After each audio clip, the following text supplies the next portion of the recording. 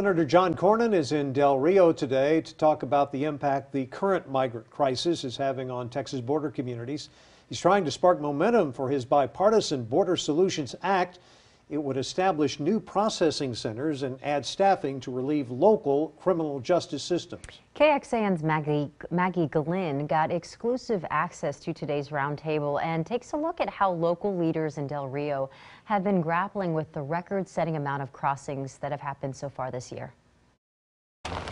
Thousands of Texas DPS troopers and National Guardsmen are deployed all across our southern border as part of Operation Lone Star. We should have about 25 or 30 troopers that, that are stationed here in Del Rio.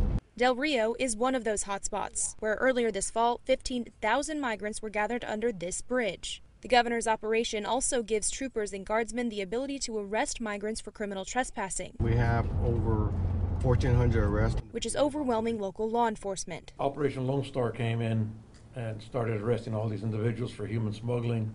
Now the county incurred a, a loss in revenue from the, from the jail of almost a quarter million dollars. Kinney County, they were prosecuting 10 cases a year. Uh, they went from 10 to about 800. That's why U.S. Senator John Cornyn is meeting with local leaders who tell him the border town did not have the infrastructure in place to handle such a surge. The fact that the, these migrants showed up in Del Rio was not an accident. Uh, it was intentional by the smugglers because they know they can flood the zone uh, and overwhelm the capacity of local communities and of law enforcement. Even with Operation Lone Star, the number of migrants crossing the border illegally continues to rise. We, have actually uh, interviewed several hundreds of, of the persons that we've arrested at the facility. There is a de deterrence factor.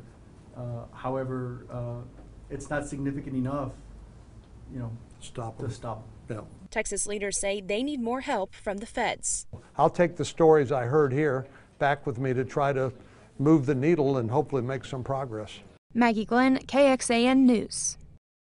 Senator Cornyn filed the Border Solutions bill alongside Republican Congressman Tony Gonzales and two Democrats, Texas Congressman Henry Cuellar and Arizona Senator Kyrsten Sinema.